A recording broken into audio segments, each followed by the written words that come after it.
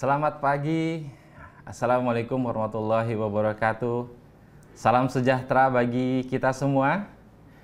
Yang terhormat Bapak Ibu partisipan tax briefing yang pada kesempatan pagi hari ini seluruhnya adalah klien tax prime serta yang kami hormati seluruh senior advisor dan advisor tax prime serta para panelis di studio tax prime. Semoga Bapak Ibu sekalian dalam keadaan sehat selalu.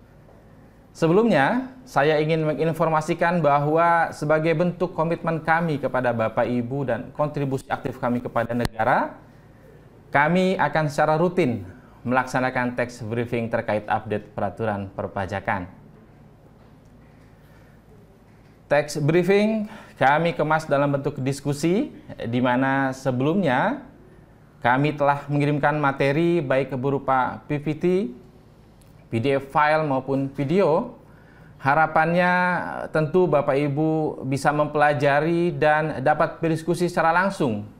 Dan kami juga berharap agar Bapak Ibu selalu mendapatkan pembaruan informasi perpajakan. Dan eh, pada pagi ini telah hadir para panelis dari Divisi Tax Compliance and Audit. Tapi sebelumnya izinkan saya perkenalkan secara singkat terlebih dahulu, saya Nur Yadin yang akan memimpin diskusi kita pada pagi ini. Dan selanjutnya, saya akan memperkenalkan kembali para panelis kita yang telah hadir di studio pada pagi hari ini. Di sebelah kiri saya mungkin wajah baru bagi Bapak Ibu sekalian. Selamat pagi dan selamat datang. Beliau adalah Bapak Anang Febita Kurniawan atau biasa kita sapa Pak Anang. Selamat pagi Pak Yadin, selamat pagi Bapak Ibu yang berbahagia. Salam kenal dari kami. Ya, Pak Anang adalah Tax Manager Tax Prime cabang Surabaya dan sebelum bergabung dengan Tax Prime, beliau adalah penelaah keberatan di Kanwil DJP Jatim 3. Begitu Pak Anang? Oke, dan kemudian juga telah hadir di studio kita pada pagi hari ini, yaitu tentu sudah tidak asing lagi bagi Bapak Ibu semua. Beliau adalah Senior Manager dari Tax Compliance and Audit Tax Prime, yaitu Bapak Awaludin Anton Budiono. Selamat pagi Pak Awal. Selamat pagi Pak Nuryadin, selamat pagi Bapak dan Ibu semuanya. Dan tentu juga telah hadir panelis kita yang paling cantik pada kesempatan pagi hari ini. Beliau adalah manajer dari Tax Compliance Audit Tax Prime. Selamat pagi Ibu Penny. Selamat pagi Pak Yadin. Selamat pagi juga Bapak dan Ibu sekalian. Dan juga perlu saya sampaikan kembali bagi Bapak Ibu yang ingin bertanya dan berdiskusi dengan panelis dapat mengajukan pertanyaan di kolom Q&A Zoom. Dan kemudian teks briefing kali ini berfokus pada diskusi bersama dengan Bapak Ibu sekalian. Maka dari itu Bapak dan Ibu kami persilakan untuk menyampaikan pertanyaan yang ingin ditanyakan pada Q&A Zoom yang telah tersedia. Sebelum kita masuk ke sesi diskusi, saya akan menyampaikan sedikit summary terkait materi yang telah diberikan sebelumnya kepada Bapak Ibu sekalian. Telah bersama kita ketahui bahwasannya pada tanggal 20 Desember 2022 telah terbit PP 55 tahun 2022 yang juga mulai berlaku pada saat diundangkan. Dengan terbitnya PP tersebut tentu menimbulkan banyak sekali pertanyaan tentang bagaimana penerapan dan implementasi peraturan tersebut ditambah dengan beragamnya biaya natural dan kenikmatan yang dikeluarkan oleh perusahaan.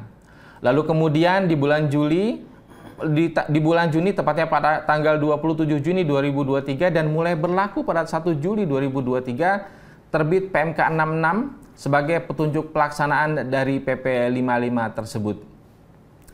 Hal-hal yang diatur dalam PP dan PMK ini sangat menarik karena tentu akan memberikan dampak kepada perusahaan dan juga bagi pegawai sebagai penerima penghasilan. Oleh karena itu, melalui teks briefing pada pagi ini kita kupas lebih dalam mengenai perlakuan pajak penghasilan atas natura dan kenikmatan. Dan juga kami ulangi bahwasannya partisipan ataupun uh, audiens yang hadir pada text briefing pada pagi ini seluruhnya adalah klien Tax Prime dan kami ucapkan selamat datang dan selamat bergabung dalam text briefing kita pagi ini. Kami juga akan memberikan kesempatan kepada Bapak Ibu yang terpilih untuk berinteraksi secara langsung dengan panelis untuk bertanya baik itu nanti pada sesi satu maupun pada sesi kedua.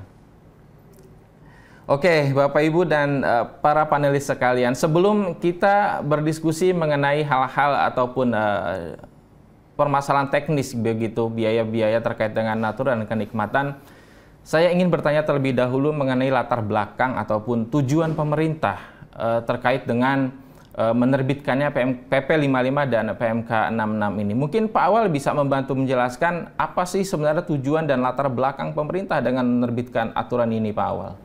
Baik Pak Nuryadin, uh, secara umum dengan diterbitkannya PP 55 di tahun 2022 dan kemudian PMK 66 di tahun 2023 diharapkan dapat memberikan rasa keadilan yang lebih kepada perusahaan sebagai pemberi kerja maupun kepada karyawan sebagai penerima penghasilan berupa natura dan atau kenikmatan.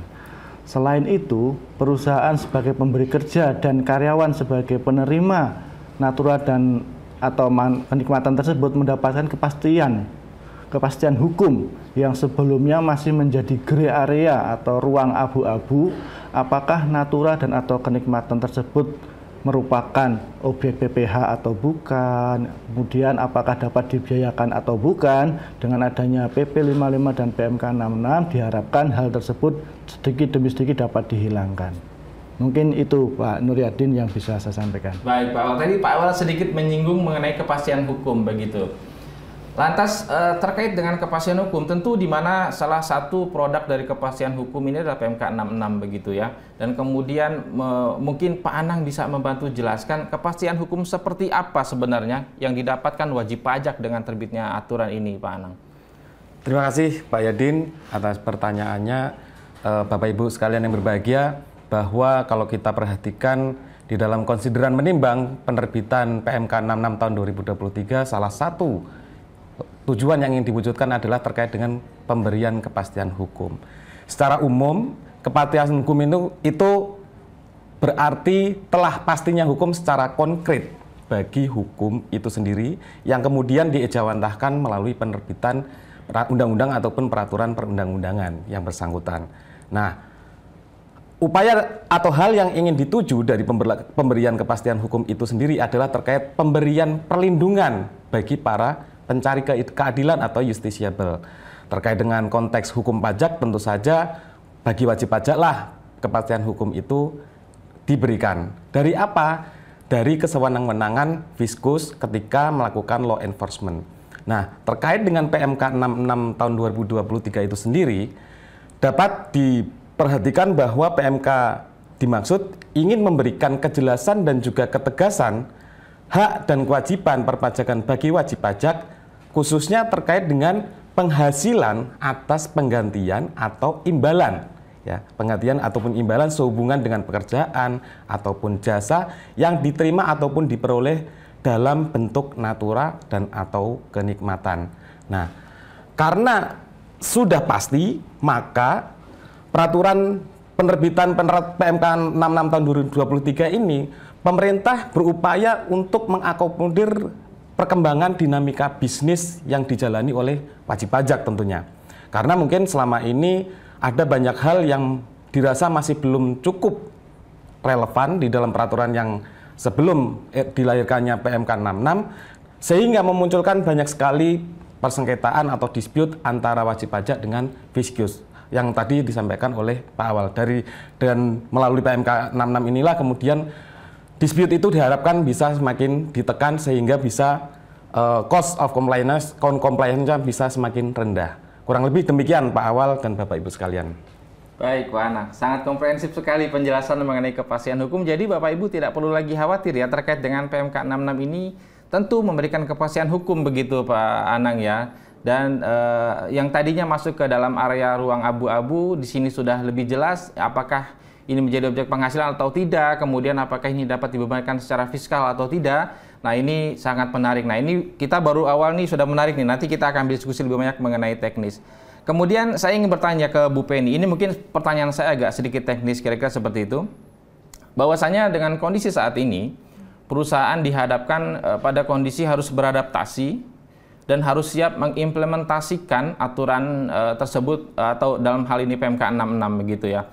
Mungkin Bu Penny bisa menjelaskan upaya apa kira-kira yang harus dilakukan uh, perusahaan ya untuk mempersiapkan diri dalam rangka berlakunya PMK 66 ini. Ini secara teknis kira-kira apa yang harus dilakukan perusahaan Bu Penny? Baik, terima kasih Pak Yadin. Sebenarnya jawaban ini juga pastinya berhubungan dengan jawaban dari Bapak Anang ya, terkait dengan kepastian hukum tadi kan. Maka dengan terbitnya PMK 66 sebenarnya jadi lebih jelas kan mana natura dan atau kenikmatan yang menjadi objek pajak, mana yang bisa dikecualikan seperti itu. Nah, ini kaitannya nanti persiapannya uh, harus dilihat dari dua sisi. Pertama dari uh, persiapan kebijakan internal perusahaan dimaksud, yang kedua dari sisi kertas kerja. Mungkin saya jelaskan dulu untuk yang bagian uh, uh, kebijakan seperti itu ya. Karena kan uh, dengan adanya PMK 66 ini Uh, sudah jelas tadi natura dan atau kenikmatan mana saja yang menjadi objek. Nah ini kan pastinya akan berpengaruh bagi sisi perusahaan untuk mereka yang mungkin menggunakan metode ditunjang ataupun ditanggung, ini akan menambah beban perusahaan. Dan sebaliknya uh, berirama juga dengan uh, dari sisi perusahaan sebaliknya bagi penerima penghasilan jika ini metodenya metode yang dipotong dari penghasilan tersebut maka pastinya akan berpengaruh bagi take home pay dari sisi penerima penghasilan. Jadinya uh, ada baiknya perusahaan mulai sudah mulai melakukan identifikasi natura dan atau kenikmatan mana saja nih yang kira-kira uh, sudah menjadi objek dan apabila memang dirasa mungkin memberatkan dari sisi perusahaan atau memberatkan dari sisi karyawan atau penerima penghasilan, maka mungkin bisa dipikirkan ulang apakah tetap akan diberikan dalam bentuk natura dan atau kenikmatan atau bagaimana seperti itu. Jadi di awal sebelum mengimplementasikan kebijakan internal perusahaan tersebut sudah jelas terlebih dahulu. Demikian. Nah, lalu yang nomor dua pastinya juga dengan adanya PMK 66 ini uh, pastinya juga ada perubahan uh, kertas kerja seperti itu ya. Karena kan uh, ada penambahan item-item baru yang sekarang harus dikenakan PPh 21 misalnya kalau untuk karyawan. Jadi di kertas kerja tersebut harus masuk komponen baru. Nah, nah ini harus uh, dipersiapkan juga dari sisi uh, kertas kerjanya. Jadi dua hal itu ya Pak Edin uh, untuk dari sisi kebijakan internal perusahaan mau seperti apa supaya efeknya tuh tidak terlalu terasa signifikan baik dari sisi beban maupun take home pay dan juga dari sisi kertas kerja uh, supaya nanti bisa langsung running seperti itu ya dengan adanya modifikasi modifikasi kertas kerja. Demikian Pak Yadin. Oke, saya mencatat dua berarti yang pertama adalah perusahaan harus segera mengidentifikasi begitu mana-mana biaya yang menjadi uh, objek penghasilan dalam hal ini aturan kenikmatan dan kemudian perusahaan juga harus segera menyesuaikan kertas kerja untuk menambahkan item-item mana saja yang harus ditambahkan sebagai komponen penghasilan PPh pasal 21. Baik Bapak Ibu, eh, cukup menarik ya kalau kita bicara eh, teknis per, eh, perpajakan di internal. Nah, ini akan menjadi tambahan compliance cost tentunya dengan adanya pemberlakuan PMK 66 ini. Saya kembali ke Pak Awal sebelum saya akan berdiskusi lebih banyak mengenai teknis nantinya. Kalau tadi sudah bicara latar belakang, kemudian tujuan pemerintah dan ditambahkan dengan kepastian hukum yang disampaikan Pak Anang begitu, rasanya juga tidak uh, lengkap kalau kita bicara keadilan begitu. Meskipun keadilan diatur dalam undang-undang begitu. Tapi tentunya diharapkan PMK 66 ini kan juga mewujudkan rasa keadilan bagi wajib pajak. Nah, kira-kira Pak Awal, apakah dengan terbitnya PP 5, 55 dan PMK 66 ini sudah sesuai dengan semangat Undang-Undang HPP Pak Awal? Baik Pak Yadin, uh, bahwa memang tujuan utama pemberlakuan natura dan atau kenikmatan sebagai objek pajak ini selain memberikan rasa keadilan dan kepastian hukum tadi ya, di mana setiap orang itu yang mempunyai penghasilan lebih besar dalam hal ini karyawan yang mendapatkan natura dan atau kenikmatan tersebut diharapkan mempunyai kontribusi kontribusi pajak yang lebih besar kepada negara. Nah, itu konsep keadilan yang yang mungkin tepat Pak, dengan pemberlakuan PMK 66 ini Bang Yadi. Terima kasih Pak Yanin. Oke, baik. Sudah lengkap artinya ada ada perluasan basis pemajakan, ada uh, keadilan, prinsip keadilan, kemudian kepastian hukum. Saya akan bertanya sedikit mengenai uh, teknis uh, kembali ke Bu Penny. Berdasarkan file ataupun materi yang sudah kami kirimkan kepada Bapak Ibu semua, ada salah satu materi yang cukup menarik yaitu mengenai daerah tertentu. Nah, sebelum kita akan membahas lebih jauh mengenai daerah tertentu, mungkin Bu Penny bisa menjelaskan terlebih dahulu nih. Apakah dengan berlakunya aturan pengaturan kembali mengenai SKDT ini, ya disingkat seperti itu SKDT, apakah akan menguntungkan bagi wajib pajak Bu Penny dengan fasilitas tersebut? Baik, terima kasih Pak Yadin atas pertanyaannya. Jadi uh, jika kita merujuk kepada PMK 66 yang uh, secara ada beberapa pasal yang memang mengatur terkait dengan SKDT atau surat keterangan uh, daerah tertentu seperti itu ya. Nah, uh, di sini justru uh, sebenarnya wajib pajak lebih bisa mendapatkan kepastian hukum gitu karena di PMK 66 bahkan sedetail itu ya mengatur radius kilometer. Jadi misalnya ada fasilitas atau prasarana sarana uh, yang masih berjarak uh, radius uh, minimal 5 km dari lokasi usaha maka itu dikatakan masih ada fasilitas seperti itu. Jadi penentuan untuk apakah suatu lokasi usaha itu berhak mendapatkan SKDT atau tidak sebetulnya jadi lebih lebih pasti gitu Pak Yadin karena uh, sudah ada sudah ada diatur jelas gitu kan. Jadi uh, tidak seharusnya tidak ada dispute lagi di situ antara wajib pajak sebagai yang mengajukan dengan nanti otoritas pajak sebagai yang melakukan pengecekan ke lapangan gitu. Jadi ya mungkin dengan PMK 66 ini untuk Bapak Ibu yang uh, usahanya memang uh, ada di lokasi uh, terpencil atau tertentu uh, bisa untuk uh, mulai mempersiapkan misalnya mengajukan SKDT tersebut seperti itu ya Pak Yadin. Oke, artinya ini jangan disia-siakan ya Bu Penny ya fasilitas yang diberikan oleh uh, pemerintah begitu. Bagi perusahaan yang uh, berlokasi ataupun mempunyai cabang di lokasi yang di daerah tertentu, mungkin bisa segera untuk mengajukan uh, permohonan begitu di mana kantor pusat uh, di mana uh, Kanwil ya diajukan kepada Kanwil DJP di mana tempat lokasi kantor pusatnya itu berdomisili begitu nanti akan ditindaklanjuti oleh DJP dan segera manfaatkan fasilitas tersebut apabila memang perusahaan Bapak Ibu semua uh, berada dalam kondisi uh, dalam lokasi ke daerah tertentu.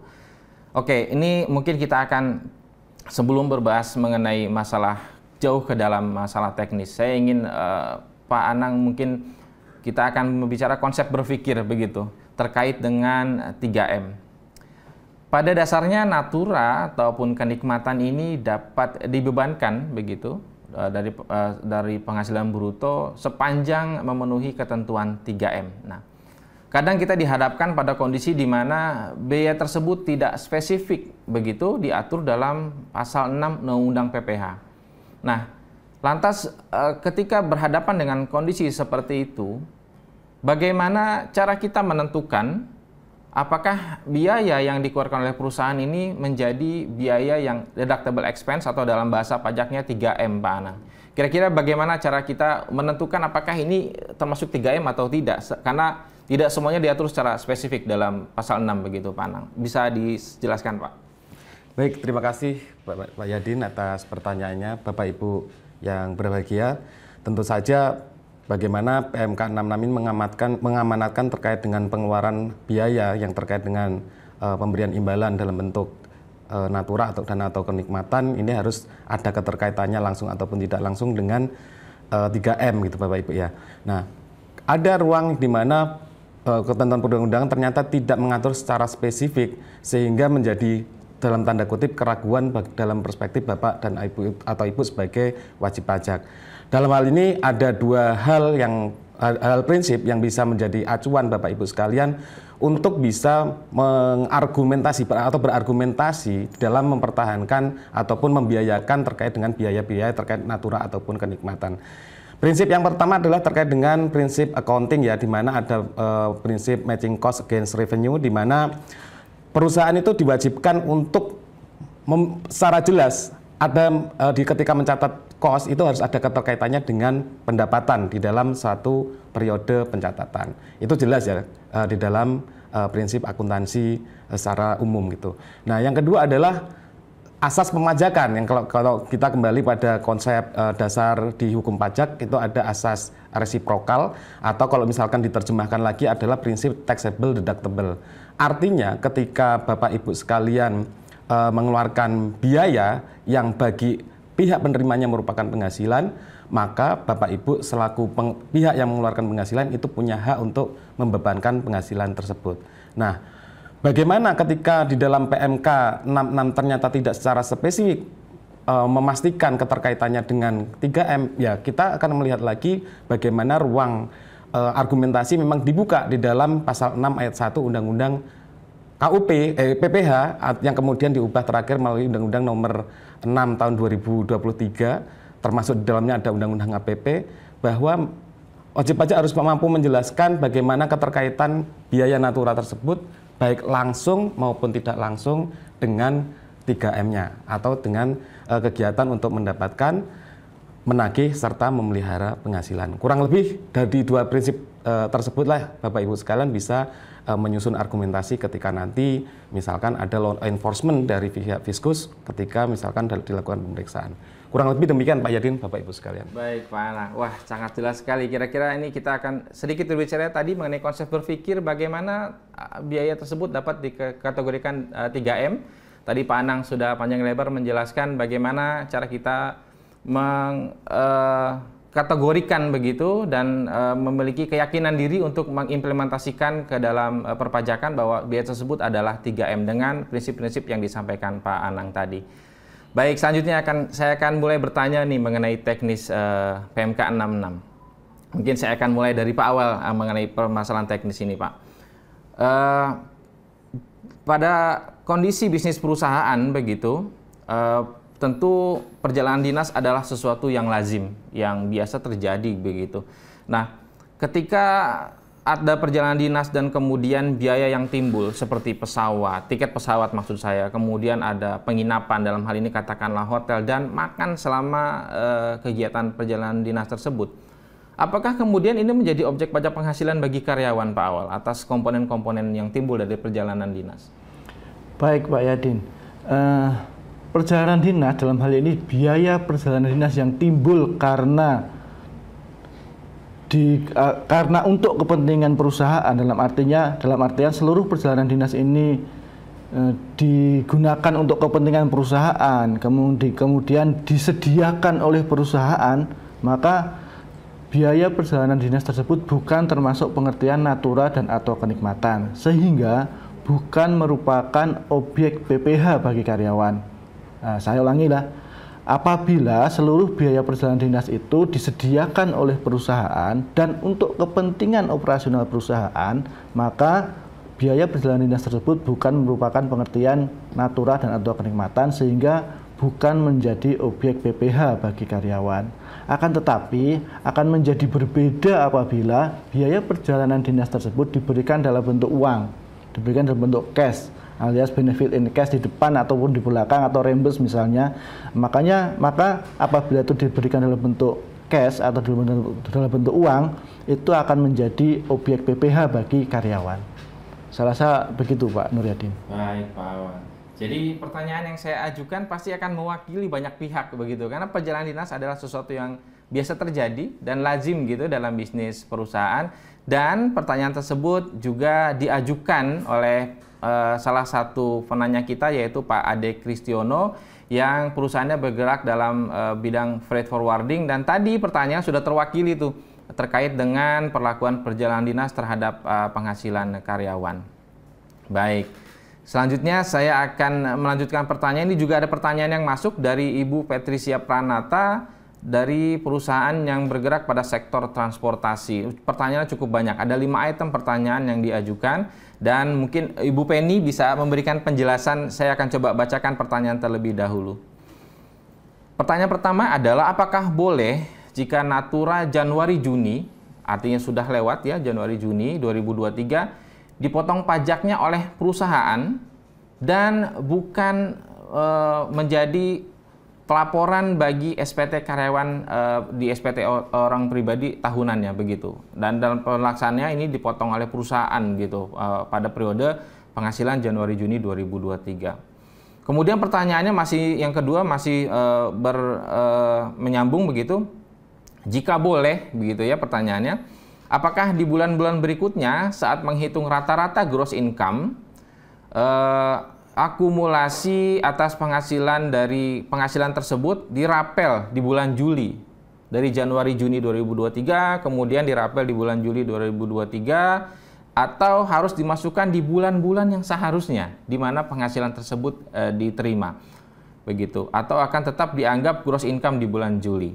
Ini berkaitan keterkaitan. Dan kemudian yang ketiga ini juga saya sambung lagi kenapa? Karena masih berkaitan untuk perhitungan Natura Januari-Juni 2023, apakah menggunakan angka masih utuh atau setelah dikurangi dengan batasan? Nah, ini pertanyaan ini mungkin karena memiliki keterkaitan sebelum nanti ada pertanyaan 4 dan 5 nanti akan saya ajukan setelah ini mungkin Bu Penny boleh bisa menjelaskan terlebih dahulu Bu terkait dengan penghasilan Januari Juni yang sudah dipotong oleh perusahaan. Baik, terima kasih Pak Yadin untuk Ibu Patricia. Ini pasti pertanyaan sangat-sangat mewakili bagi wajib pajak lain ya Pak Yadin ya. Uh, untuk apakah boleh jika Natura karyawan Januari Juni 2023 itu dipotong dan dihitung oleh perusahaan uh, sebagai pemberi penghasilan. Kalau bicara boleh atau tidak, tidak boleh, sebenarnya ini kita harus kembali lagi ke PMK 66 itu sendiri ya. Tepatnya di pasal 24 memang sudah disebutkan bahwa kewajiban untuk menghitung dan membayar uh, natura dan atau kenikmatan yang diterima dari Januari sampai dengan Juni 2023 itu jatuh kepada sisi penerima penghasilan dan harus dilaporkan di dalam SPT tahunan penerima penghasilan seperti itu. Nah, lantas ketika pemberi kerja mungkin berinisiatif untuk menghitungkan uh, PPh 21 atau pajak penghasilan masa Januari sampai dengan Juni, apakah pertanyaan yang muncul apakah kemudian itu menggugurkan kewajiban bagi penerima penghasilan untuk menghitung dan melaporkan. Nah, kembali lagi ke pasal 24 di PMK 66 tentunya sudah jelas di situ disebutkan wajib dihitung dan dibayar oleh penerima penghasilan untuk masa Januari Januari sampai dengan Juni 2023. Jadi jika merujuk ke PMK 66 tentu saja jawabannya uh, tidak tidak dapat diwakilkan kewajiban itu kepada si pemberi penghasilan. Ya, jadi uh, apa namanya uh, ini mungkin juga sudah bisa menjawab uh, pertanyaan nomor dua ya untuk Ibu Patricia karena kan uh, jawabannya adalah tidak tidak bisa gitu karena kewajiban itu melekat pada penerima penghasilannya.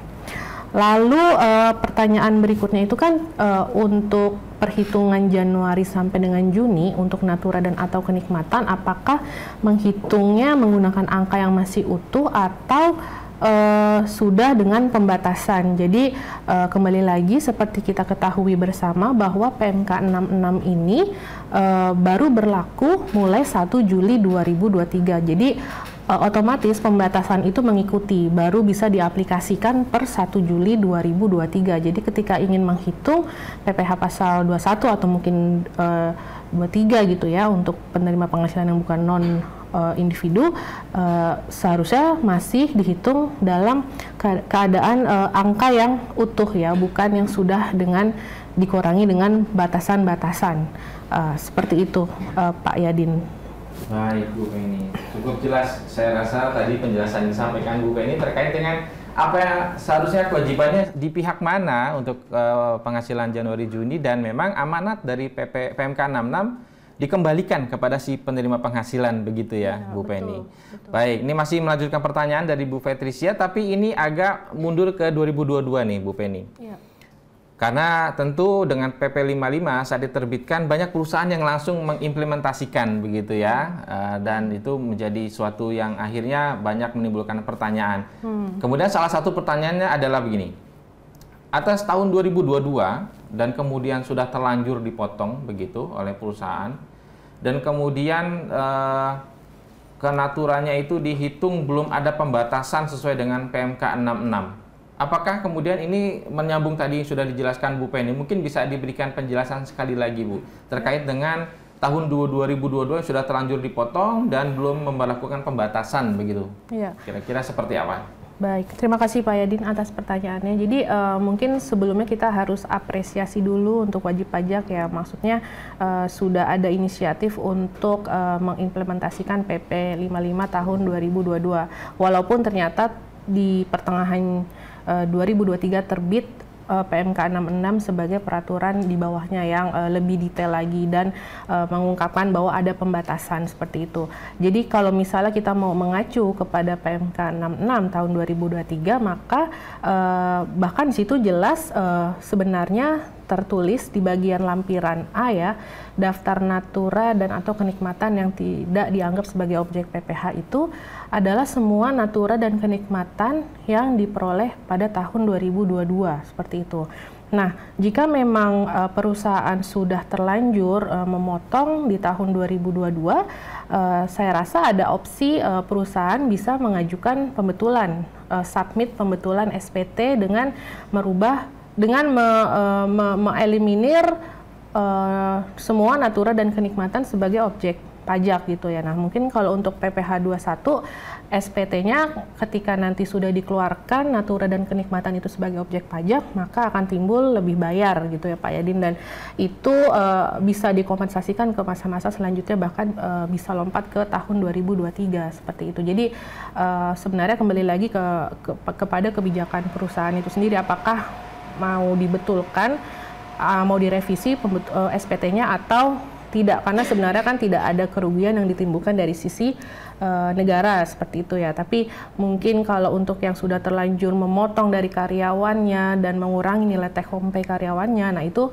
bisa dipikirkan ulang apakah direvisi atau tidak, dibetulkan atau tidak untuk SPT tahun 2022. Oke, itu Pak Yadin. Baik. Jadi kembalikan lagi kepada kebijakan internal perusahaan iya, Bu Penny ya. Betul. Walaupun sebenarnya memang amanatnya itu baru akan dilaksanakan di 2023 ya dari iya. terbitnya PMK 66. Iya. Baik, saya lanjutkan pertanyaan yaitu pertanyaan yang diajukan oleh Ibu Cindy Yuniasari dan uh, perusahaannya bergerak dalam uh, sektor consumer consumer goods begitu. Pak Anang mungkin bisa membantu menjelaskan.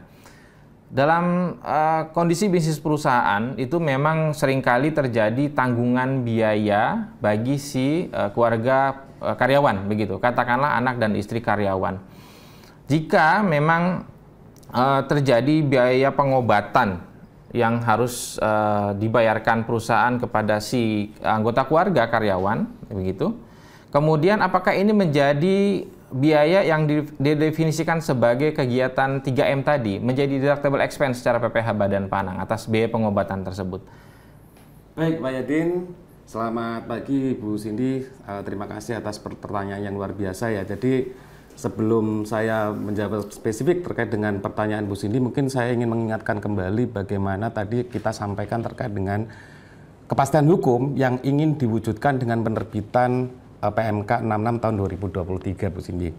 Uh, jadi apa yang telah tertulis di dalam uh, PMK ya, artinya di dalam ketentuan hukum tertulis PMK 66 Lex, uh, Lex Scripta uh, itu merupakan menjadi satu hal yang mengikat ya bagi negara maupun wajib pajak dalam hal ini sebagai objek yang dibebani kewajiban untuk membayar pajak itu menjadi pasti apa hak dan kewajiban dari para masing-masing pihak gitu ya. Eh, demikian halnya dengan ketika bicara uh, siapa sih atau penghasilan natura seperti apa sih yang kemudian dibebaskan dan seterusnya yang bukan menjadi objek dan natura yang menjadi objek. Nah, secara sistematis kita bisa melihat bahwa di dalam uh, PMK 66 tahun 2023 ini khususnya pada pasal 8 ayat 3 itu disebutkan di sana bahwa fasilitas berupa tanggungan biaya kesehatan untuk uh, apa namanya keluarga pegawai itu hanya diberlakukan kepada pegawai di daerah tertentu atau yang tadi dibahas oleh Ibu Penny uh, perusahaan yang telah memiliki surat ketetapan daerah tertentu ya dari Direktorat Jenderal Pajak. Artinya uh, ketika diatur secara khusus di dalam pasal 8 ayat 3 Undang uh, PMK 66 maka hanya hanya yang tertulis di pasal 83 itulah yang diperkenankan untuk e, menjadi bukan objek bagi si penerimanya. Nah, karena di ketentuan umumnya tidak tertulis atau tidak disebutkan, bagaimana memaknainya? Nah, ketika tidak di, diatur secara tertulis di dalam e, ketentuan umumnya, maka berlaku bahwa menjadi objek bagi si penerimanya ketika misalkan perusahaan menanggung biaya pengobatan bagi uh, tanggungannya, misalkan anak ataupun istrinya. Sehingga nanti bagi si penerima penghasilannya atau bagi si karyawan yang mem memperoleh uh, tambahan uh, penghasilan dalam bentuk natura ya yang apa namanya menanggung kesehatan uh, uh, anak dan juga istrinya itu akan diperhitungkan sebagai komponen PPh pasal 21. Nah, bagaimana dengan uh, perusahaan, apakah bisa perusahaan uh, membebankan sebagai deductible expense. Nah, itu lagi kita kembali lagi kepada konteks konteks, konteks uh, terkait dengan hubungan langsung ataupun tidak langsung uh, dengan upaya perusahaan untuk memperoleh uh, menagih ataupun memelihara penghasilan ya, Bu Cindy dan Bapak Ibu sekalian. Ketika perusahaan memang dapat meyakinkan ya dengan interpretasinya, dengan faktanya bahwa jika perusahaan tidak membiayai istri dan juga anak pengobatan istri dan juga anak pegawai yang bersangkutan sehingga berdampak pada kinerja daripada uh, pegawai yang bersangkutan tentu saja itu akan ada pengaruh bagi kinerja uh, perolehan penghasilan ataupun upaya menagih penghasilan ataupun bahkan memelihara penghasilan. Jadi kembali lagi pada konteks bagaimana interpretasi kita terhadap fakta dan kesesuaiannya dengan 3M-nya tadi, baik langsung maupun tidak langsung. Demikian kurang lebih Pak Yadin dan baik. Bu Cindy. Bu Cindy, semoga penjelasan Pak Anang tadi cukup uh, mencerahkan begitu ya. Jadi konsep berpikir bagaimana 3M itu yang kemudian dihubungkan dengan faktanya dan uh, nature transaksi seperti apa sehingga bisa meyakini Fiskus bahwa ini memiliki keterkaitan dengan 3M tadi. Masih melanjutkan pertanyaan dari Bu Cindy terkait dengan uh, kegiatan operasional kendaraan nih. Uh, dalam bisnis perusahaan tentu bagi uh, ada yang namanya orang lapangan begitu ya, biasanya tim marketing atau atau apa gitu. Nah, kemudian mobilnya itu atau kendaraannya itu dipakai untuk kegiatan uh, tim lapangan. Nah, tidak dedicated kepada satu orang tertentu. Nah, ini apakah kemudian perlu dihitung sebagai penghasilan bagi si karyawan atas kendaraan operasional lapangan, Pak Anang? Oke, terima kasih Pak Yadin. Uh, terima kasih juga Bu Cindy. Uh, jadi sebagai gambaran Bu Cindy dan juga Bapak Ibu sekalian, bagaimana kita bisa mengidentifikasi apakah itu natura ataupun kenikmatan terkait khususnya dengan mobil dalam tanda kutip mobil operasional perusahaan yang tidak dedicated ataupun dedicated itulah yang kemudian menjadi dasar penilaian kita sebagai uh, pemberi penghasilan ya. Ya uh, terkait dengan apa namanya kalau dedicated berarti bagi yang bersangkutan akan boleh membawa si fasilitas tersebut ke mana pun dia pergi. Nggak hanya sebatas uh, ke, ke, untuk keperluan operasional kantor. Nah kalau tidak dedicated artinya tidak menunjuk kepada personal uh, yang yang uh, artinya orang seluruh orang di dalam divisi tersebut boleh menggunakan kendaraan operasional tersebut maka itu bukan objek bagi si pemanfaat uh, fasilitas ataupun mobil operasional perusahaan sehingga tidak perlu dipotong PPh. Kalau dedicated dipotong PPh, kalau tidak dedicated maka tidak perlu dipotong PPh. Dan bagaimana pembebanannya, pembebanannya kalau misalkan bukan dedicated, kalau tidak dedicated maka mekanismenya berlaku kembali ke ketentuan umum di pasal 6 ayat 1 karena itu berkaitan langsung dengan operasional perusahaan tentunya Bapak Ibu sekalian. Bahwa e, pengeluaran biaya mobil e, mobil operasional ini tentu akan di, e, eh, dilakukan secara e, periodik atau melalui suatu penyusutan atau depresiasi. Kurang lebih demikian Bu Uh, Cindy. Bu Cindy dan juga Pak Yadin. Baik, cukup jelas ya. Jadi terkait dengan kendaraan operasional, Nah, itu tadi pembebanannya dengan pembebanan biasa, jadi tidak perlu dilakukan perhitungan sebagai pajak penghasilan bagi si karyawan. Kecuali memang kendaraan tersebut melekat begitu ya, atau katakanlah dedicated kepada jabatan tertentu. Baik, saya kembali ke Pak Awal. Ini ada pertanyaan dari Pak Rido, di mana sektor ekonomi perusahaannya adalah eh, sektor perusahaannya adalah bergerak dalam manufacturing begitu. Terkait pertanyaan atas kamar kos atau apartemen ya, yang disewa perusahaan yang kemudian kos atau apartemen tersebut dijadikan tempat singgah atau transit gitu yang dipakai untuk seluruh karyawan. Jadi perusahaan menyewa sebuah lokasi tempat tinggal, kos ataupun apartemen, kemudian karyawannya boleh e, transit ataupun singgah di apartemen tersebut. Kemudian apakah biaya yang timbul ini menjadi objek pajak penghasilan bagi si karyawan tersebut Pak Awal? Mungkin bisa dibantu menjelaskan Pak. Baik Pak Nuryadin dan Pak Ridho tadi ya, uh, mengenai tempat singgah ya atau tempat transit ya, tempat singgah atau transit yang berupa entah kamar kos ataupun apartemen yang disediakan oleh perusahaan tetapi bisa dipakai oleh pegawainya. Artinya pegawainya bisa bergantian dan sebagainya itu merupakan bagian dari kenikmatan. Artinya merupakan fasilitas yang disediakan oleh perusahaan. Namun di dalam lampiran PMK 66 eh, tempat tinggal yang seperti tadi yang bersifat komunal, artinya bersifat komunal itu bisa dipakai oleh lebih dari satu orang, oleh beberapa karyawannya, bisa bergantian dan sebagainya, itu dikecualikan dari objek PPH. Memang bentuknya fasilitas, memang masuk ke kategori fasilitas, kenikmatan, tetapi dikecualikan dari objek PPH.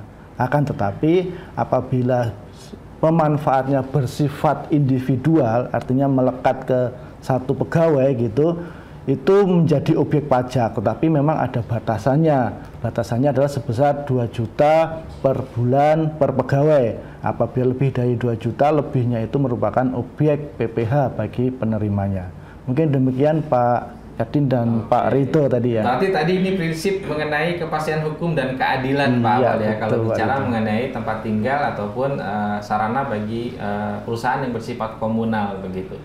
Terima kasih Pak Awal penjelasannya. Saya, saya akan lanjutkan pertanyaan berikutnya dari Pak Rizky atau Mas Rizky yang sama sektor bisnis perusahaannya adalah manufaktur.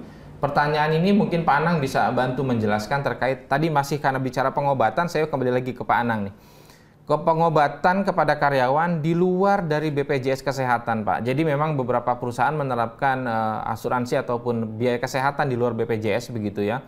Yang di, apakah kemudian penghasilan tersebut, pengobatan kepada karyawan di luar dari BPJS dikenakan objek PPH bagi karyawan, Pak Anang.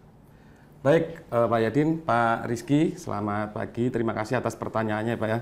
Jadi gambarannya kalau pemberian fasilitas pengobatan kepada karyawan di luar BPJS, kita mesti melihat bagaimana uh, ketentuan PMK 66 tahun 2023 itu pada pasal 4 huruf E, pasal 7 ayat 1 dan juga ayat 4 itu telah memberikan batasan bahwa atas natura ataupun kenikmatan dengan jenis ataupun batasan tertentu ini mesti diperhatikan batasan-batasannya seperti apa sehingga nanti atas pemberian fasilitas uh, pengobatan kesehatan kepada karyawan di, di luar BPJS itu bisa menjadi deductible bagi uh, perusahaan maupun apakah objek atau bukan objek bagi si penerimanya. Nah, sepanjang kemudian di dalam lampiran uh, A poin keempat di dalam PMK 66 tahun 2023 di sana sudah jelas disebutkan ada beberapa batasan kriterianya. Yang pertama adalah diterima atau diperoleh pegawai dan dan di sini berarti syaratnya kumulatif ya. Diberikan dalam rangka kecelakaan kerja, penyakit penyakit akibat kerja, kedaruratan penyelamatan jiwa, pengobatan lanjutan akibat kecelakaan dan penyakit akibat kerja. Nah, kita kan tinggal melihat kembali Pak Ridho, Bapak Ibu sekalian, apakah asuransi tersebut memenuhi ketentuan dimaksud. Bagi, jika telah memenuhi, maka bagi karyawannya bukan objek dan sebaliknya ketika tidak ketika bagi si perusahaan maka bisa dibebankan sebagai uh, biaya ataupun deductible bagi si perusahaannya. Demikian Pak Pak Ridho dan juga Pak Yadin. Baik, Pak Ana. Oke. Seperti janji saya di awal tadi, kami akan memberikan kesempatan kepada audiens terpilih untuk berinteraksi secara langsung, uh, untuk bertanya kepada panelis. Baik, pada kesempatan pagi ini mungkin uh, kami akan berikan kesempatan kepada Ibu Elita. Ya. Selamat pagi. Selamat pagi, Bu. Boleh diperkenalkan terlebih dahulu, Ibu, dan nama dan sektor bisnis dari perusahaan Bu. Tidak perlu menyebutkan nama perusahaan dan sampaikan pertanyaan apa yang akan diajukan kepada panelis. Silakan Ibu Elita.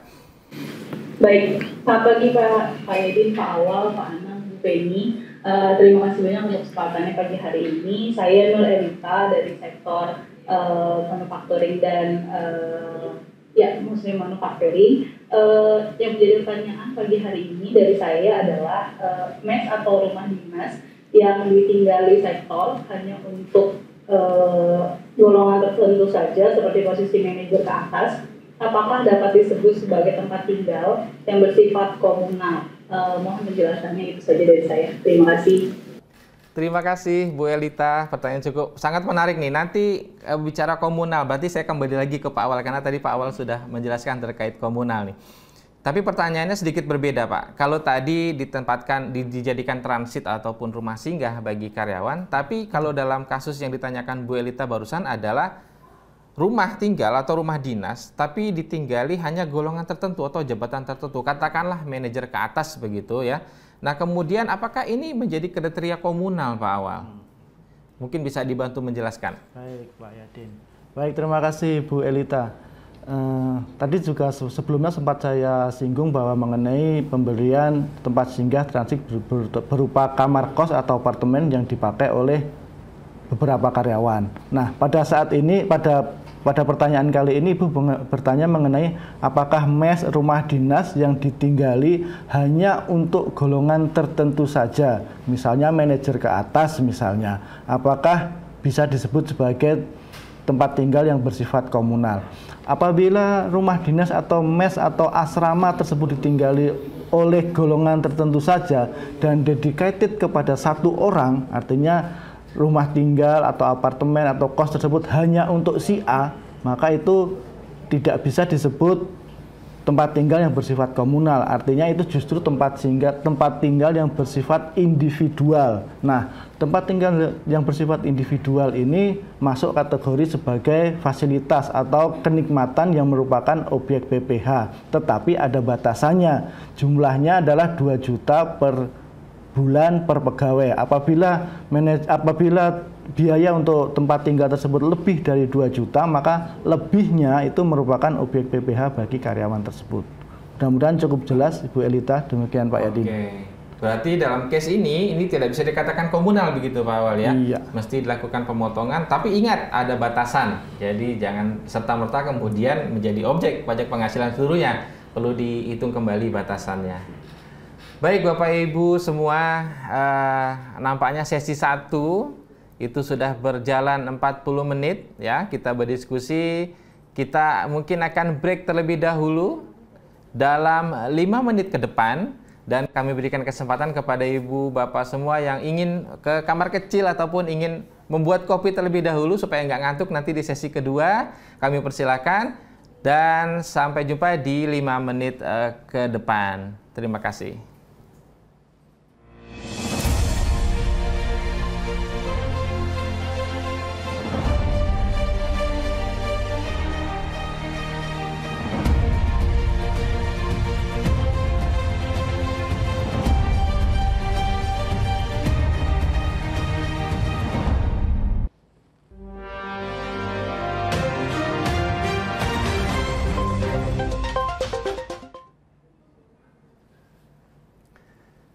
Selamat siang Bapak Ibu semua, kembali lagi bersama kami, saya uh, Nuri Adin yang memimpin sesi diskusi pada pagi sampai siang hari ini dan juga ditemani oleh tiga panelis uh, yang tadi pada sesi satu sudah memberikan penjelasan pertanyaan-pertanyaan atas uh, yang diajukan oleh Bapak Ibu sekalian.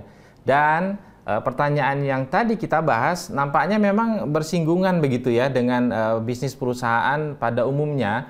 Dan kita akan melanjutkan pada sesi kedua. Dan saat ini sudah banyak sekali Q&A yang masuk yang kami terima tapi mohon maaf jika semua pertanyaan nanti tidak kita jawab, mungkin kami akan berikan kesempatan kepada Bapak Ibu semua untuk saluran uh, email begitu untuk mengajukan pertanyaan apabila pada kesempatan sesi kedua ini tidak uh, cukup waktu untuk dibahas. Baik, uh, dari dari Q&A yang sudah masuk, ini ada pertanyaan cukup menarik yang diajukan oleh Pak Bambang Rianto yang sektor usahanya bergerak dalam manufacturing begitu. Pertanyaan ini diajukan ke Pak Awal ini karena masih keterkaitan dengan apa yang telah tadi disampaikan oleh Pak Awal sebelumnya, yaitu atas kenikmatan berupa BBM, tol dan parkir ya untuk mobil fasilitas karyawan Pak. Ya. Apakah ini tidak masuk sebagai objek pasal 21 sebagaimana mobilnya bagi karyawan yang gajinya di bawah 100 juta per bulan? Dan kemudian pertanyaan kedua adalah kenikmatan berupa sewa rumah atau apartemen. Nah, ini ada keterkaitan dengan baru saja yang dijelaskan. Apakah merupakan objek pasal 21 yang nilainya di atas 2 juta per bulan? Dan nilai tersebut dapat diakui sebagai beban perusahaan-kah? Kira-kira seperti itu. Dan kemudian kenikmatan yang senilai 2 juta atau di bawahnya apakah dapat diakui sebagai beban oleh perusahaan? Tentu ini memang dengan terbitnya PMK 66 ini pertanyaan itu akan semakin melebar begitu ya. Dalam satu transaksi saja bisa ada muncul beberapa pertanyaan contoh seperti yang Pak Bambang Rianto ajukan seperti ini. Mungkin Pak Awal bisa menjelaskan kira-kira perlakuan PPH maupun perlakuan pada saat penghitung PPH badan seperti apa Pak atas uh, fasilitas berupa bahan BBM, tol parkir dan fasilitas berupa rumah apartemen yang nilainya di atas 2 juta per bulan. Silakan Pak Awal. Baik Pak Nuryadin, terima kasih Pak Bambang Rianto atas pertanyaannya. Mungkin saya jawab dulu pertanyaan yang kedua mungkin ya. Yang kedua adalah uh, kenikmatan berupa sewa apartemen, apakah merupakan objek pasal 21 dan kemudian apakah bisa dibebankan sebagai biaya oleh perusahaan. Intinya begini Pak Bambang, bahwa uh, apartemen apartemen apart, ataupun tempat kos ataupun tempat tinggal itu semua ber, itu boleh dibilang semua adalah fasilitas ataupun imbalan berupa kenikmatan yang dapat dibebankan sebagai biaya oleh perusahaan. Nah, Apakah kemudian dapat menjadi objek PPh bagi karyawan? Ada beberapa kriteria seperti yang tadi. Yang pertama, apakah sifatnya individual atau komunal? Apabila sifatnya komunal, maka itu bukan objek pasal 21 tetapi tetap bisa dibiayakan ya sebagai biaya oleh perusahaan. Kemudian yang kedua, apakah sifatnya itu yang kedua adalah sifatnya individual. Apabila sifatnya individual itu merupakan objek 21 dengan batasan batasan adalah 2 juta per pegawai per bulan. Apabila di bawah 2 juta, maka itu bukan objek 21, tetapi tetap bisa dibebankan sebagai biaya oleh perusahaan. Nah, kemudian apabila biaya tempat tinggal tersebut lebih dari 2 juta, misalnya 5 juta misalnya ya, maka sisanya artinya 3 jutanya itu menjadi objek PPh bagi karyawan dan 5 jutanya tetap sebagai tetap dapat dibebankan sebagai biaya oleh perusahaan. Saya rasa cukup clear ya Pak Bambang Rianto untuk yang mengenai sewa tempat tinggal atau kos atau apartemen atau apa pun nama apa pun namanya.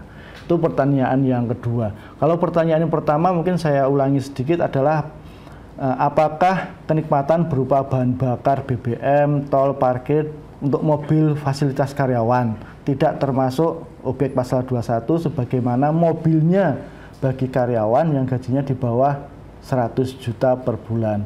E, memang untuk untuk detail atau komponen fasilitas kendaraan itu tidak disebutkan secara detail di lampiran PMK 66 ini Pak Bambang. Tetapi mungkin kita bisa melihat ke lampiran yang lain misalnya untuk fasilitas perahu kalau nggak salah ada fasilitas perahu di situ, di situ disebutkan. Kemudian di untuk fasilitas apartemen misalnya itu disebutkan secara secara detail, secara rinci misalnya apakah uh, fasilitas untuk apa ya kebersihan dan sebagainya untuk apartemen itu masuk ke uh, komponen biaya sewa apartemen tersebut. Demikian juga seperti dalam lampiran yang lain itu untuk untuk perahu ya itu misalnya uh, bahan bakar dan sebagainya itu masuk ke komponen perahu tersebut kalau kita ambil contoh di lampiran PMK 66. Nah, otomatis kalau kita mengambil atau mengacak ke situ, otomatis biaya bahan bakar, tol dan parkir dan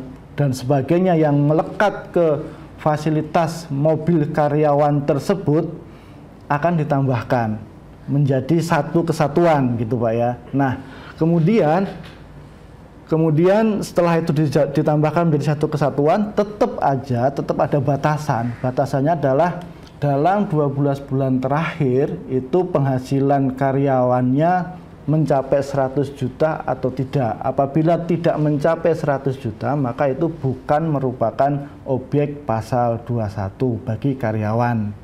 Mungkin seperti itu Pak Yadin dan Pak Bambang. Baik Pak Awal, semoga bisa memberikan pencerahan nih pertanyaan yang barusan diajukan oleh Pak Bambang Rianto melalui chat Zoom. Nampaknya penjelasan sudah cukup uh, jelas begitu ya. bagaimana pemberlakuan pembatasan, bagaimana terkait uh, biaya digunakan bersama, komunal atau secara pribadi. Jadi juga menjadi penting ketika balik lagi kepada nature transaksinya begitu Pak Awal ya. Baik, saya lanjutkan pertanyaan yang diajukan oleh Ibu Irene Iskandar Cipto yang diajukan melalui chat Zoom. Uh, kemudian sektor ekonominya adalah manufacturing dan pertanyaan ini akan diajukan ke Pak Anang karena ini tadi bicara uh, tunjangan begitu ya. Dalam case ini mungkin ada kemiripan dengan pertanyaan sebelumnya yaitu mengenai tunjangan makan berupa uang, tapi nilainya di bawah 2 juta nih Pak, ya gitu. Apakah kemudian ini menjadi penghasilan bagi karyawan berupa natura begitu atau seperti apa Pak terkait dengan uang makan, tunjangan makan yang nilainya justru di bawah 2 juta Pak Anang? Oke. Uh, terima kasih uh, Pak Yadin dan juga tentu saja terima kasih Bu Irene terima atas uh, partisipasinya dan nggak hanya sekedar berpartisipasi, ada pertanyaan yang sangat bagus ya, di mana terkait pemberian tunjangan dalam bentuk uang, uang, uang makan dalam bentuk uh, tunai di bawah 2 juta, apakah nanti diperlakukan sebagai objek ataukah bukan. Nah, kembali kepada konsep berpikir di PMK 66 ya, bahwa PMK ini hadir untuk uh, istilahnya memberikan kepastian terkait dengan benefit in kind, uh, terkait dengan natura dan atau kenikmatan. Kalau natura itu berarti tidak tunai kenikmatan itu dalam bentuk fasilitas.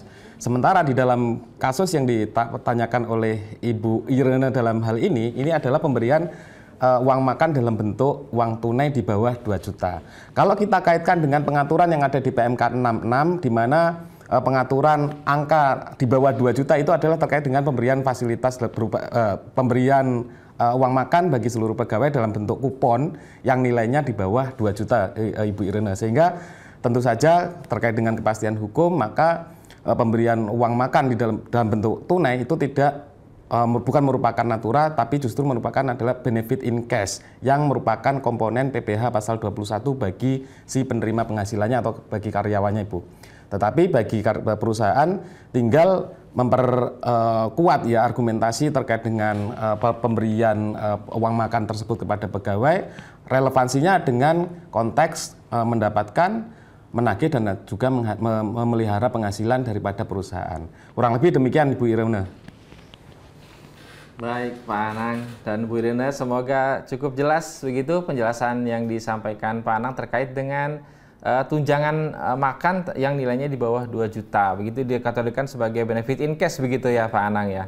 Baik, saya lanjutkan pertanyaan berikutnya yang juga muncul dari uh, chat Zoom ini yang diajukan oleh Ibu Viera Dewi Pertiwi dan ini mungkin Bu Penny bisa memberikan penjelasan terkait dengan uang tunai yang diberikan kepada pegawai dalam rangka dinas luar begitu. Jadi ini uh, sekarang tersebut itu dinas luar diberikan uang tunai untuk menunjang uh, kegiatan dinas luar tersebut. Diberikan dalam bentuk uang begitu.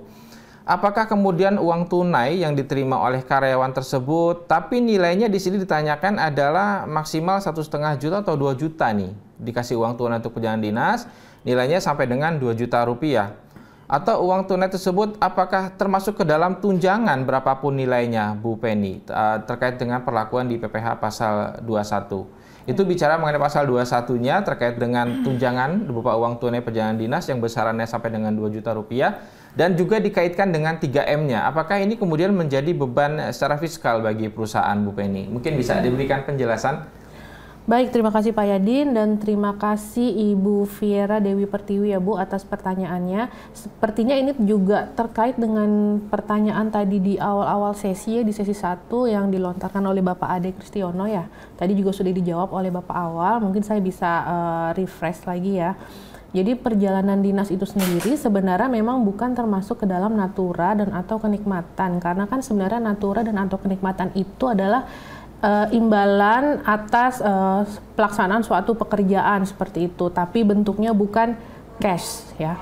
Sedangkan kan perjalanan dinas itu sendiri adalah uh, uh, uh, prosedur dari perusahaan yang misalnya memang memang harus dilakukan untuk menunjang uh, keberlangsungan bisnis perusahaan sehingga mengutus karyawannya untuk melakukan perjalanan dinas seperti itu. Jadi konteksnya memang bukan natura dan atau kenikmatan.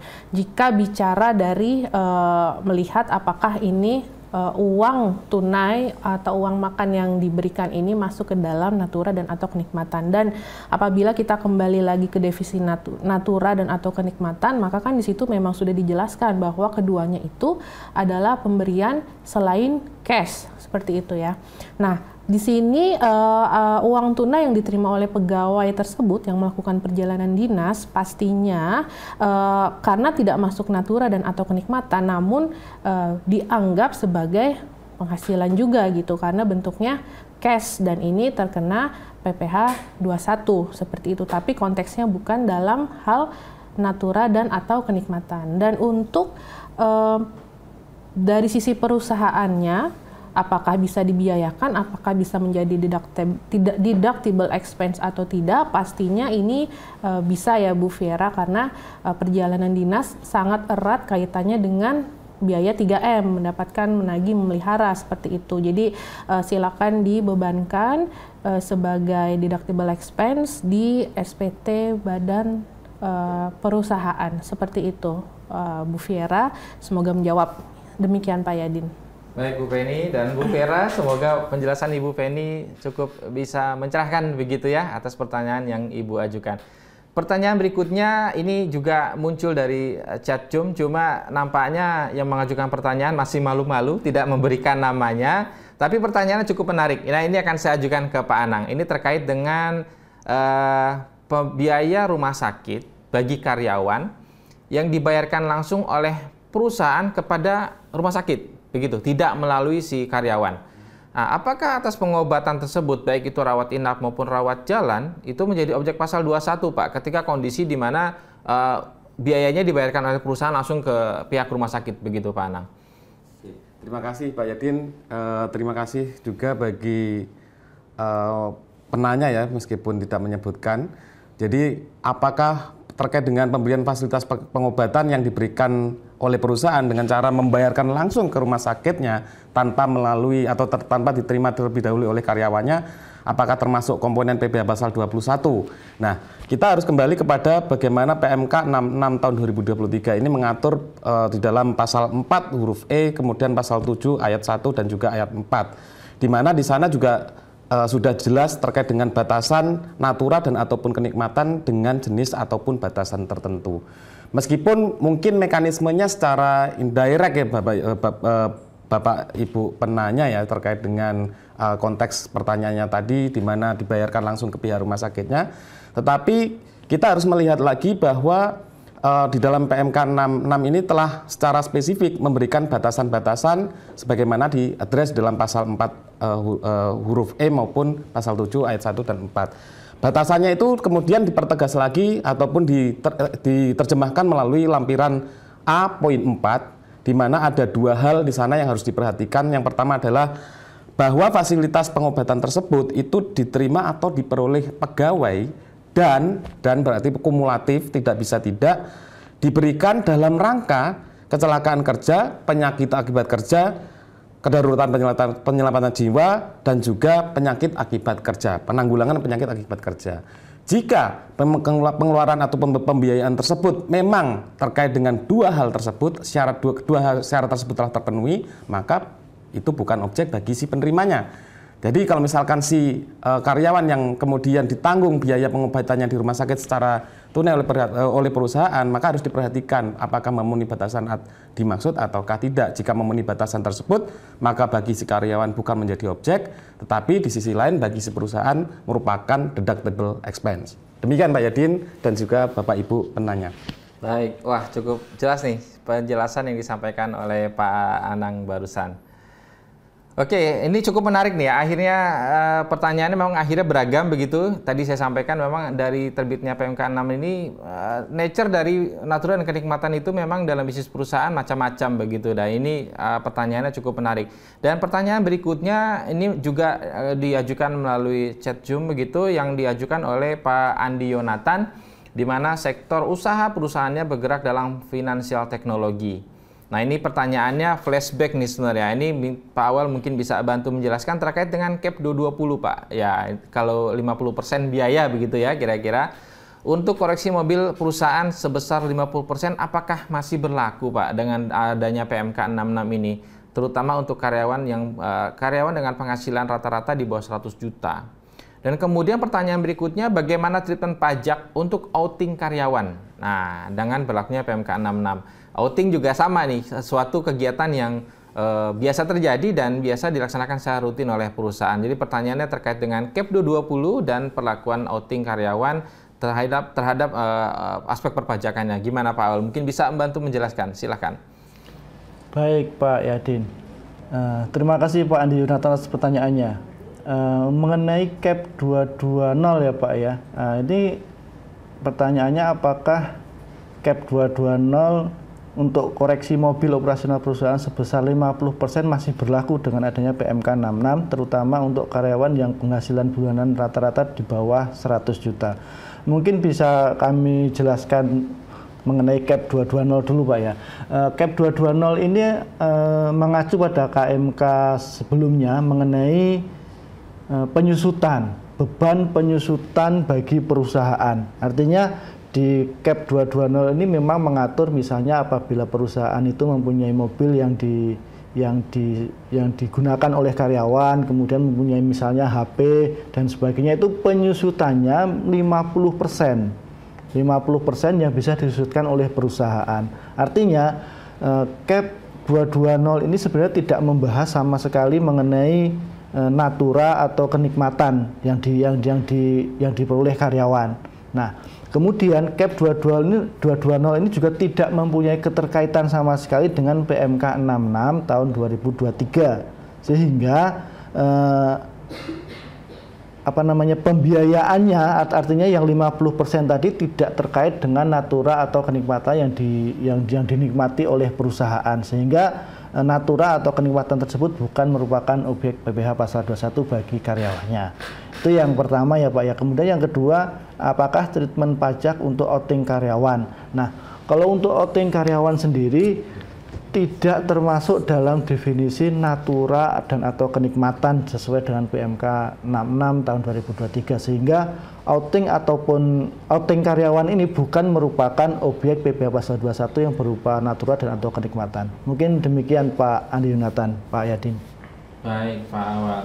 Terima kasih atas uh, penjelasan uh, pertanyaan yang diajukan oleh Pak Andi Yunatan terkait dengan CAP 220. Cukup menarik ya karena tentu CAP 220 dianggap beririsan begitu dengan berlakunya PMK 66 ini. Tapi tadi Pak Awal sudah jelaskan bagaimana perlakuan uh, Cap 20 dengan adanya PMK 66 ini. Semoga cukup jelas apa yang tadi di, telah disampaikan oleh Pak Awal. Saya juga pada kesempatan ini juga memberikan kesempatan kepada penanya untuk berinteraktif dengan para panelis kami untuk menanyakan uh, isu pada perusahaannya barangkali seperti itu, tapi juga akan mewakili wajib pajak yang lain sebenarnya karena ini biasa juga lazim Eh, banyak berlaku begitu atas uh, natural kenikmatan di beberapa perusahaan. Halo, selamat pagi.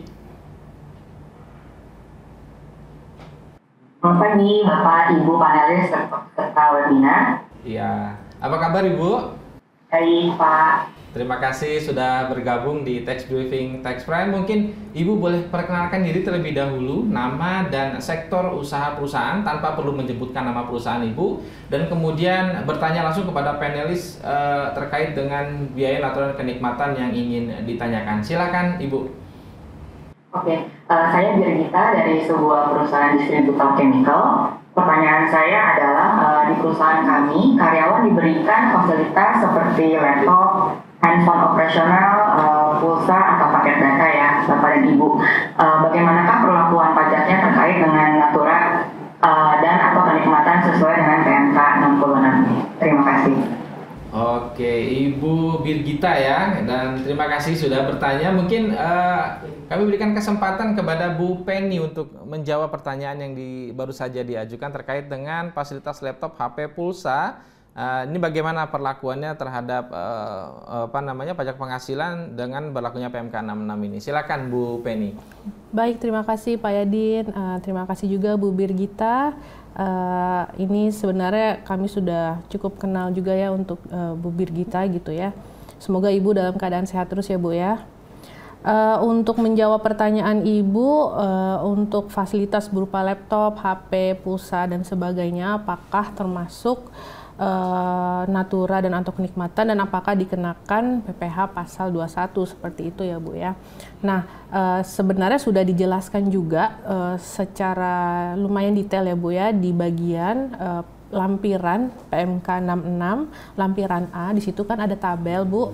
Nah, jadi uh, lampiran itu uh, di lampiran A itu itu merupakan tabel batasan atau nilai uh, suatu natura dan atau kenikmatan apakah menjadi objek PPH pasal 21 atau tidak dan memang uh, yang seperti kita ketahui seperti laptop, handphone, pulsa itu kan barang-barang yang memang uh, dibutuhkan oleh karyawan untuk menunjang pekerjaan mereka gitu ya terkait sangat erat kaitannya dengan operasional perusahaan.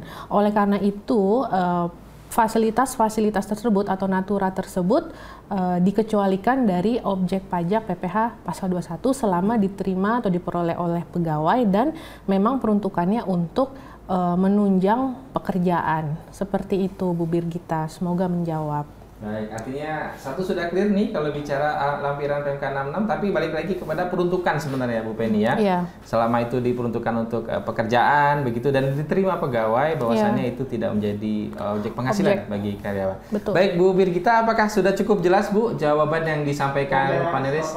Baik. Terima kasih Bu Birgita sudah bergabung bersama kami. Dan uh, kami berikan kesempatan kepada uh, para panelis, uh, para uh, audiens begitu, Bapak Ibu sekalian untuk bertanya. Dan ini ada pertanyaan cukup menarik ini terkait dengan kegiatan uh, ataupun biaya uh, beasiswa. Nah ini diajukan oleh Ibu Karina Rahma uh, melalui uh, chat Zoom yang kemudian sektor usaha perusahaannya bergerak dalam jasa keuangan. Pertanyaannya adalah apakah beasiswa ya kita bicara beasiswa yang diterima oleh anak dari pegawai begitu yang diberikan ataupun dibayarkan oleh perusahaan termasuk dalam natural kenikmatan yang dikenakan pajak Pak Anak. Apakah ini kemudian harus dilakukan pemotongan PPh Pak atas eh, beasiswa yang ditanggung oleh perusahaan kepada anak dari karyawan Pak Anang? Oke. Terima kasih Pak Yadin. Uh, terima kasih juga Ibu Karina Rahma ya atas pertanyaannya. Jadi uh, saya kembalikan kepada konsep uh, kepastian hukum yang ingin diberikan melalui penerbitan PMK 66 tahun 2023. Jadi apa yang tertulis maka itulah yang menjadi pasti bagi para pihak yaitu dari uh, baik itu wajib pajak selaku pemberi uh, penghasilan dalam bentuk natura maupun karyawan sebagai penerima penghasilan dalam bentuk natura ataupun kenikmatan.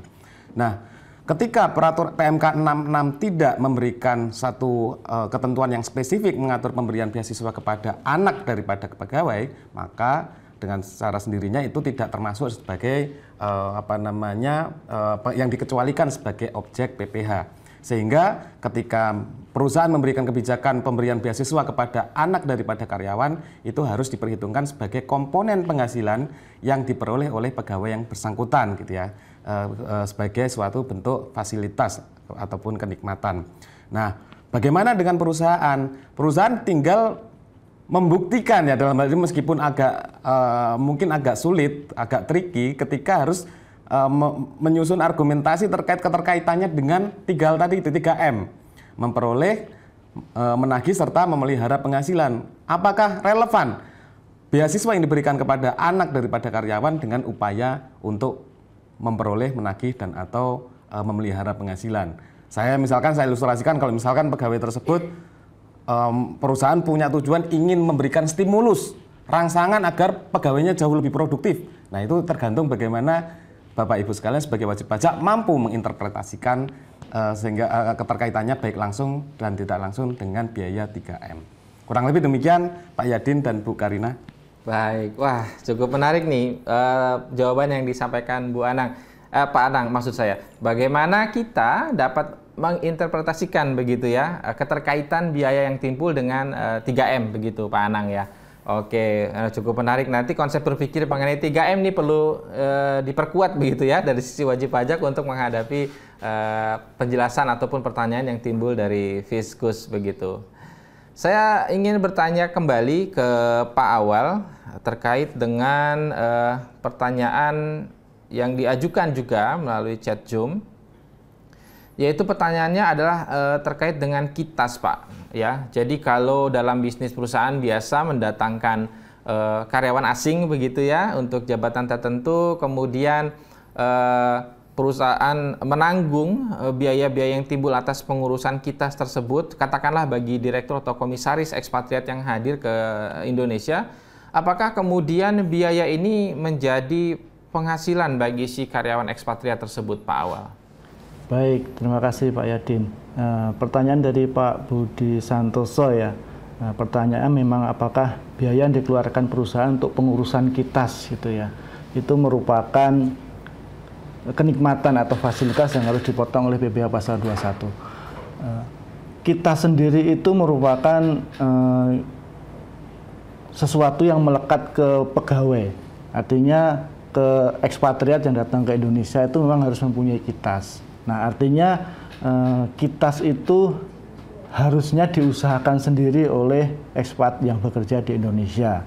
Artinya ketika perusahaan mengusahakan kepengurusan mengurusnya atau mendapatkan kitas tersebut itu merupakan fasilitas yang diterima oleh ekspat tersebut. Nah, artinya eh, fasilitas ini merupakan kenikmatan yang diterima oleh ekspat tersebut baik entah direksi ataupun jajaran apa pun ketika si ekspat ini menerima pengurusan yang, di, yang dibantu oleh perusahaan itu merupakan fasilitas yang diterima oleh ekspat tersebut sehingga biaya pengurusan kitas tersebut merupakan kenikmatan yang menjadi objek BPH pasal 21 bagi penerima kenikmatan tersebut bagi si ekspat tersebut. Begitu Pak Yadin dan Pak Budi ya. Ya, baik Pak Awal. Terima kasih Pak Budi dan Pak Awal uh, sudah dibahas mengenai pertanyaan atas biaya kitas atas uh, biaya yang timbul bagi perusahaan yang uh, mendatangkan tenaga kerja asing. Selanjutnya pertanyaan yang diajukan oleh Ibu Azalea, uh, bisnis perusahaan dalam sektor kesehatan terkait dengan uh, swab test. Ya, mungkin Bu Penny bisa bisa membantu menjelaskan. Meskipun sekarang uh, COVID-19 sudah mereda begitu, tapi barangkali memang masih ada kondisi di mana yang eh, terpapar COVID-19 dan uh, kemudian apakah swab test atau biaya yang uh, atas pengetesan tersebut yang dibayarkan oleh perusahaan termasuk natura ataupun uh, penghasilan bagi si karyawan Bu Penny? Mungkin bisa bantu dijelaskan. Baik, terima kasih Pak Yadin dan juga terima kasih Bu Azalea atas pertanyaannya. Jadi ketika kita mendengar kata-kata swab test mungkin banyak dari kita flashback lagi ya ke tahun 2020 di mana pandemi uh, menyerang tidak hanya di Indonesia tapi di seluruh dunia ada. Kaitannya dengan PMK 66 dalam hal ini adalah um, disebutkan di pasal 4 bahwa uh, atas penggantian atau imbalan dalam bentuk natura dan kenikmatan yang harus disediakan oleh pemberi kerja terkait dengan kesehatan, dengan keamanan atau keselamatan pegawai itu uh, merupakan uh, yang dikecualikan dari objek PPH uh, eh, pasal 21 atau mungkin pasal 23 gitu ya.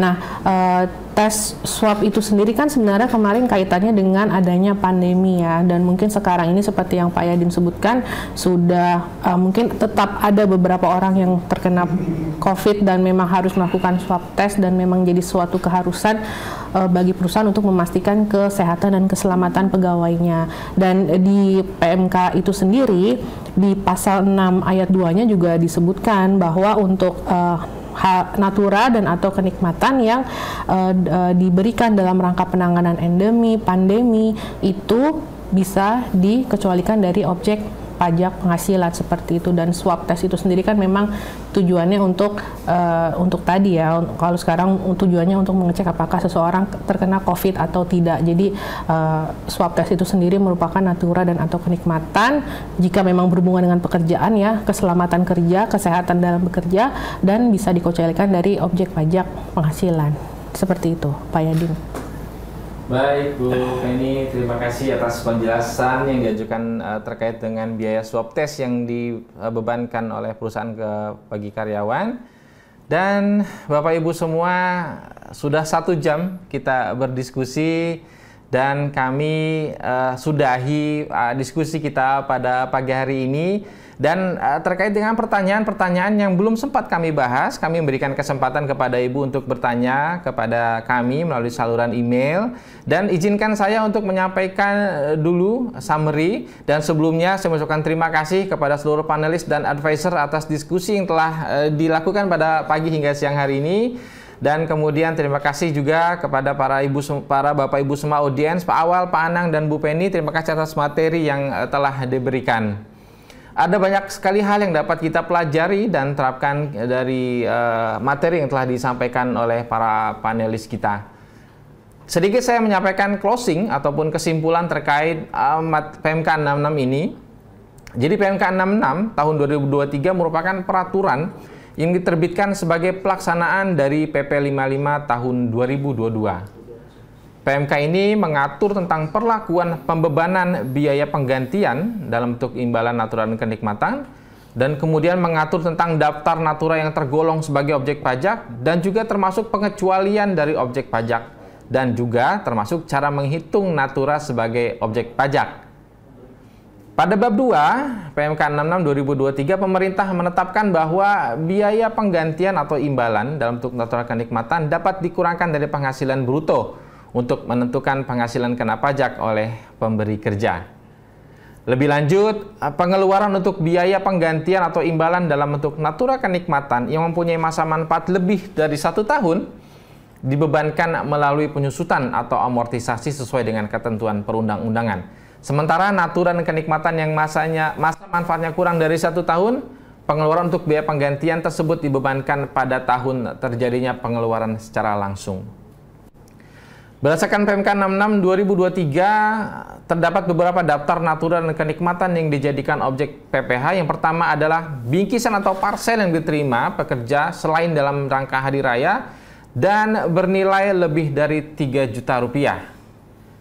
Kemudian objek yang kedua adalah peralatan atau laptop e, penunjang e, komputer, laptop atau telepon seluler beserta sarana, sarana penunjangnya atau sambungan internet yang diterima bukan untuk menunjang pekerjaan. Jadi ketika menerima uh, fasilitas tersebut tapi tidak terkait dengan uh, untuk menunjang pekerjaan maka akan menjadi objek PPH. Yang ketiga adalah fasilitas olahraga seperti golf, pacuan kuda, balap perahu, terbang layang gitu yang kemudian memiliki masa nilai keseluruhan lebih dari 1,5 juta per pegawai per satu tahun, maka ketika sudah melebihi threshold tersebut perlu dilakukan pemotongan PWA pasal 21. Kemudian yang keempat ada fasilitas kantor berupa tempat tinggal yang pemanfaatnya dipegang oleh perseorangan atau individual, baik apartemen ataupun rumah tapak, yang bernilai lebih dari 2 juta per pegawai per satu bulan, maka harus diperhitungkan juga sebagai objek PPH pasal 21. Yang kemudian yang kelima ada fasilitas kendaraan untuk pegawai yang memiliki rata-rata penghasilan dalam dua bulan, bulan terakhir melebihi 100 juta rupiah sampai dengan 100 juta atau lebih, maka atas penghasilannya juga atas selisih lebihnya harus dilakukan pemotongan PW pasal 21. Kemudian yang keenam, kupon makanan atau minuman yang nilainya melebihi 2 juta rupiah per pegawai dalam jangka waktu satu bulan. Kupon yang dimaksud ini merupakan alat transaksi bukan uang yang dapat ditukarkan dengan makanan dan atau minuman.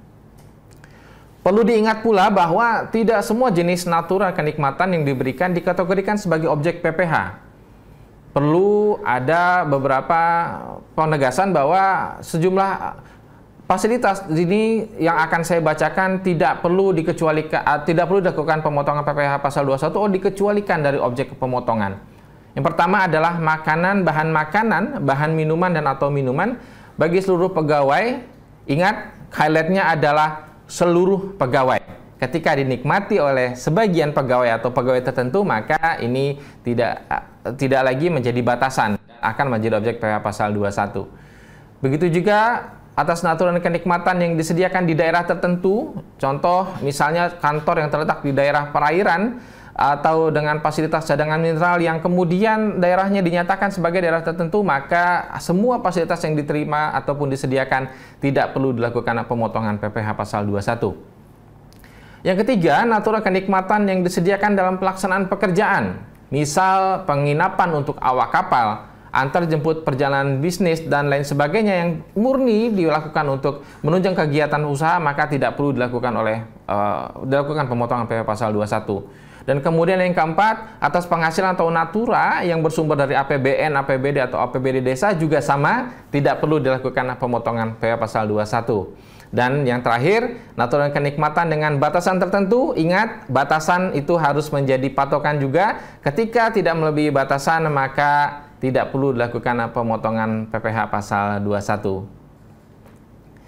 Kemudian terkait fasilitas uh, bagi wajib pajak daerah tertentu, Bapak Ibu dapat segera mengajukan permohonan ke kantor wilayah DJP di mana kantor pusat perusahaan Bapak Ibu terdaftar.